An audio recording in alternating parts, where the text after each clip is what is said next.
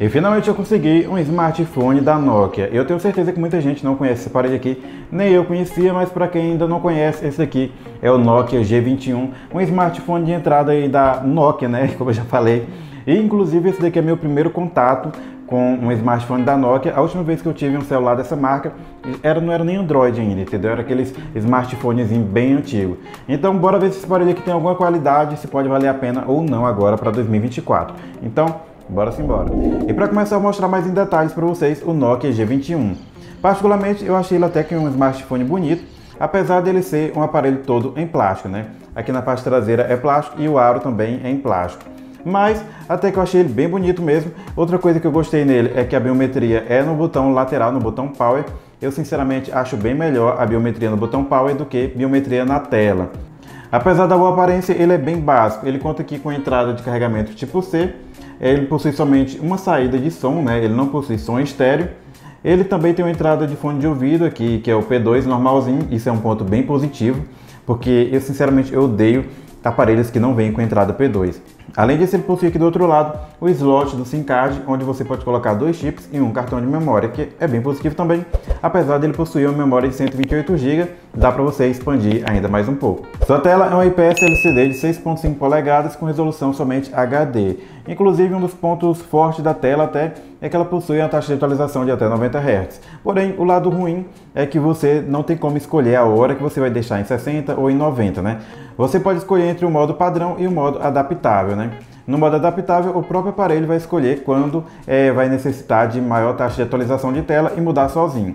Eu particularmente preferia eu poder escolher, né, quando eu coloco em 60 ou em 90. Mas eu não considero que a tela seja um problema desse aparelho aqui, principalmente se a gente comparar com outros aparelhos é, de entrada, né? Inclusive eu testei, por exemplo, o Redmi 10, que eu achei assim uma das piores telas assim que eu já peguei, entendeu? Mas esse daqui, pelo menos em tela tá ok, as cores até que são boas, como ela é uma tela IPS, é, tem um bom ângulo de visualização e a taxa de atualização também sendo de 90 Hz deixa um pouquinho melhor esse combo, né? E de ficha técnica, o que temos aqui é um chipset Unisoc Tiger 616, inclusive no aplicativo que eu sempre baixo aqui nos aparelhos para ver esses dados técnicos e tudo mais, diz que é o 616. Porém, eu vi em outro site aí sobre ficha técnica e fala que é o 606. Mas eu vou tentar descobrir direitinho e caso esteja errado, não seja o 616, eu corrijo aí para vocês. Além disso, ele conta com 4 GB de memória RAM e 128 GB de armazenamento. A bateria dele possui 5.050 mAh. Eu acho que eu nunca vi uma bateria com 5.050 mAh, mas já informo logo para vocês que é uma bateria muito boa. Nesse conjunto aqui, ela aguenta muito tempo. E mais um dado importante é que ele está na versão do Android 13. E agora eu vou mostrar para vocês aqui um pouquinho do desempenho na prática, né, para vocês terem uma noção da velocidade que é do aparelho para abrir os aplicativos e tudo mais. Aqui já foi, aqui também, sai aqui. Deixa eu colocar aqui para nós ver mais vídeo aqui. Bora ver. Baixar. Ele até que não é tão lento quanto, por exemplo, um Moto E22. Porém, acontecem umas paradas muito estranhas nele quando você está jogando. Inclusive, assiste até o final que vocês vão ver como é que é para jogo.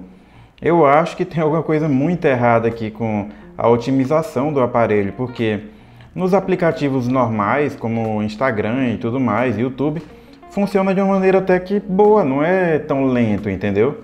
É ok, na verdade eu achei bem de boa. É, eu testei o Moto E22, para esse tipo de coisa aqui ele já pena bastante. Mas o G21 aqui é tranquilo até mas na hora que você vai jogar o trem fica bem sinistro e vocês precisam ver isso porque caso você esteja querendo é, comprar um Nokia G21 é, é importante que você veja como é que ele vai sair nos jogos. E falando um pouco sobre suas câmeras, ele possui três câmeras na parte traseira, sendo a principal de 50 megapixels, mais uma câmera macro de 2 megapixels e mais uma também um sensor de modo retrato de 2 megapixels.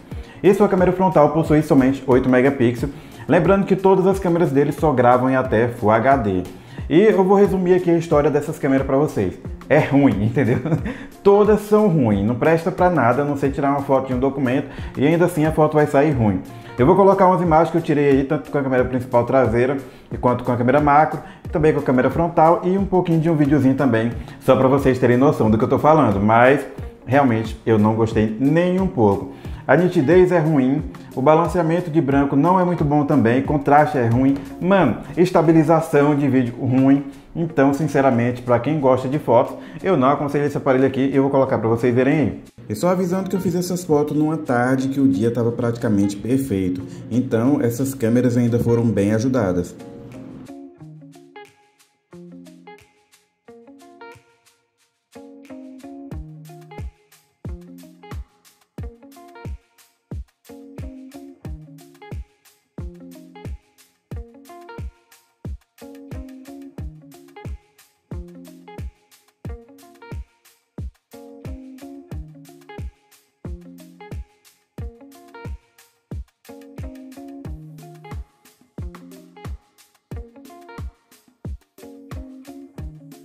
E agora eu tô aqui me gravando com a câmera frontal do Nokia G21.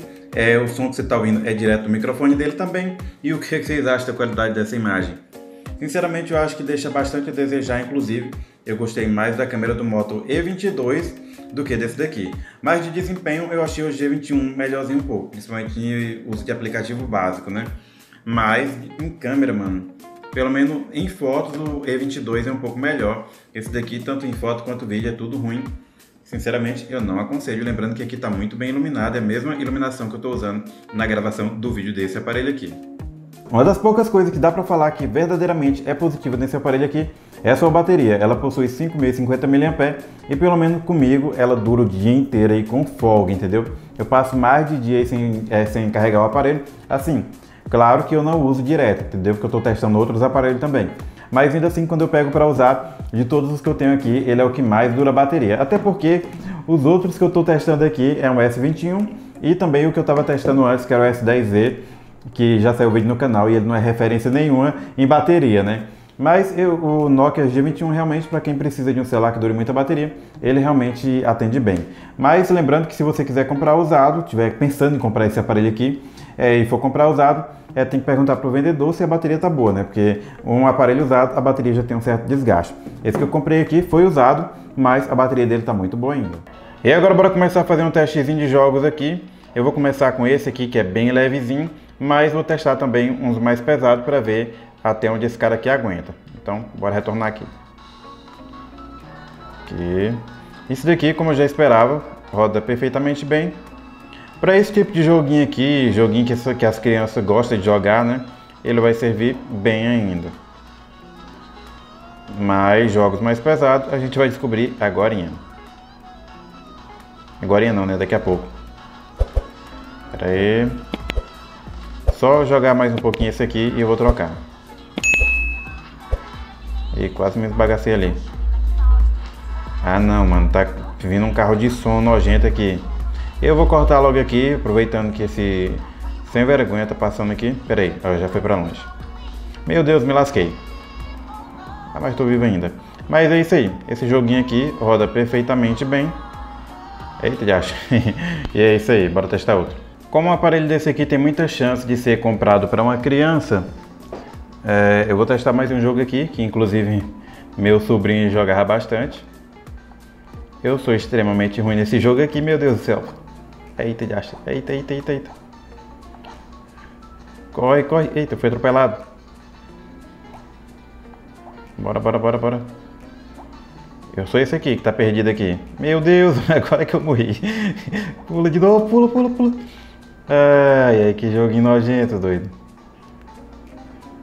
É, conforme vocês puderam ver aí, roda, né? Agora, eu passar daqui... Aí é que tá... Epa, epa, epa, epa, peraí, volta, volta. Já caí de novo. ai, ai. Ah, não, não quero jogar mais isso aqui não. É, conforme vocês puderam ver, roda assim. Eu não vou conseguir passar dessa parte aqui. Ai, ai, ai, ai, me acertou, quase foi dessa vez. Mas é isso aí, bora testar outro. E agora bora testar aqui o código mobile. Essa daqui é a qualidade gráfica que ele pega, né? Só pega o gráfico no médio e o FPS no alto. Agora eu estou gostando de jogar aqui o modo zumbi. Cadê o modo zumbi? Aqui. E vamos ver se esse aparelho aqui aguenta ou se vai ficar travando. Bora ver. Coloquei para iniciar. Já foi. Não foi? Oxi.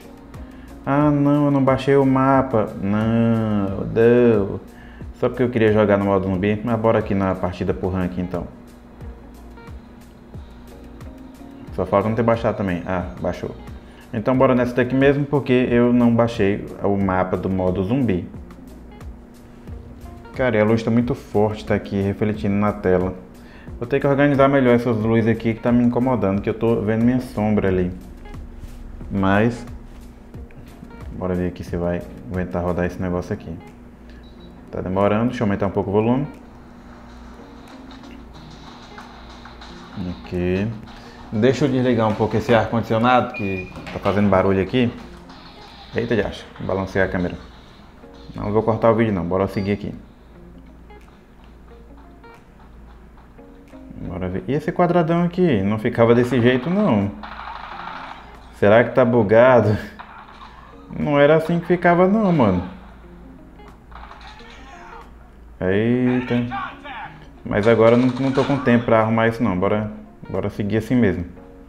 Mas essa é a primeira vez que eu jogo que tá dessa forma aqui. E eu tô achando que isso aqui não é normal não. Eita, já. Eita, tomei na cara. Foi por causa desse mapa aí. Foi por causa desse mapa que tá na minha frente. Atrapalhou minha visão aqui. Deixa eu ver se eu consigo matar alguém. Mas, sinceramente, eu tô achando que esse daqui não é normal não. Acho que é defeito mesmo. Acho que é um bugzão lascado. Nenhum outro celular que eu peguei ficou desse jeito aqui até hoje. Eu tô sentindo aqui que tá rodando liso aqui, mas... Vai, clica. Errei. Outra aqui. Volta aqui, safado. E ainda pegou. Bora por aqui. Daqui costuma vir uns caras direto. Cadê eles? Estão aqui não, bora subir lá então, não, bora entrar aqui. E o mapazão tá ali. Não vou mentir que dá uma atrapalhada mesmo, que fica chamando minha atenção esse mapa aqui desse lado. Cadê os caras? Eita, já acho. Matou. Vou jogar só mais um pouquinho aqui e vou parar. Mas realmente eu acho que isso daqui é um bug, viu? Não vou. Um bug. não vou mentir não. Eu acho que é. Cadê? Tá encobriu. Encobrido aqui o lugar que eu aperto na mira. Eita. Eita, eita, vou morrer. Sai, sai, sai. Sai. Ah, me lasquei. Não tô falando, o mapa tá atrapalhando. Deixa eu ir só mais uma vez aqui rapidão. Tá atrapalhando, atrapalhando mesmo. Aqui, um sapato. Sai, sai, sai. Cara, sai, sai daí, rapaz. Ah, nós ganhamos mesmo assim. E agora vamos testar aqui o Genshin Impact tudo aqui. Mostrar o gráfico para vocês. Tá tudo aqui no baixo, média, baixa, baixa.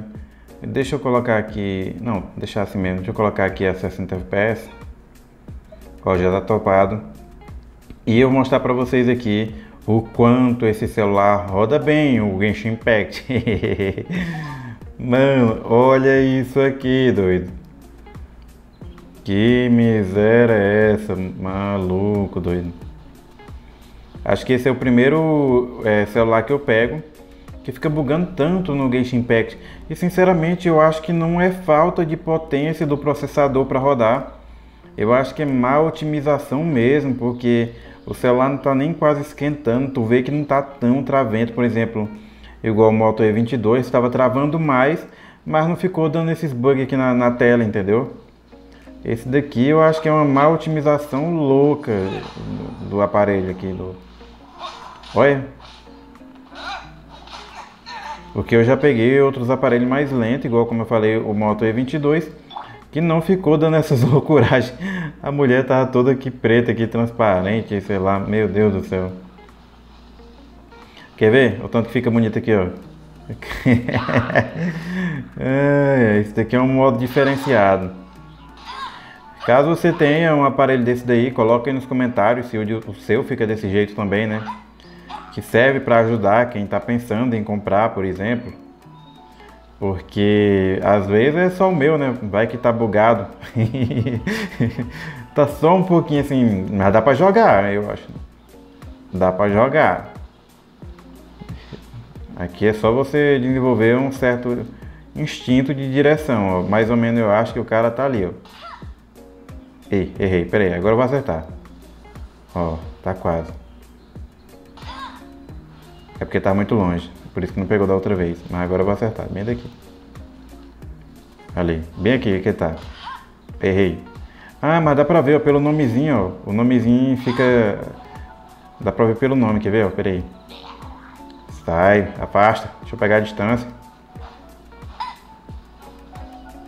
Olha lá, ó. Cadê? Vai ficar preto não? Olha lá, dá pra ver o nomezinho. Meu Deus, sinceramente, um aparelho desse daqui seria para uso básico, do básico, do básico mesmo, entendeu? Não dá para exigir nada de muito relevante não. Coloca nos comentários se o, o seu também é desse jeito, se dá esses bugs aqui, ou se é só esse daqui que tem algum tipo de defeito, né? Porque como eu falei, eu comprei esse daqui usado. Pode ser isso, mas eu nunca vi celular com esse defeito aqui, viu? Mas, olha, acertei, eu não falei que dava para acertar? Mas é isso aí.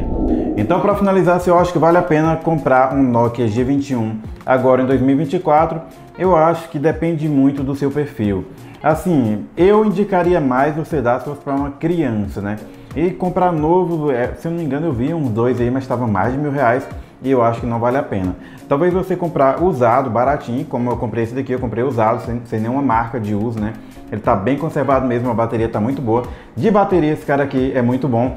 Então, eu acho que seria mais indicado você dar para uma criança, ou talvez para um idoso que não, não fique mais tirando foto, ou simplesmente um adulto que não goste de fazer quase nada no smartphone, a não ser ver as redes sociais, é, usar o WhatsApp e tudo mais. Ele vai dar para rodar alguns joguinhos leves, como eu falei para vocês aí, mas assim, não exija muito desempenho desse cara aqui.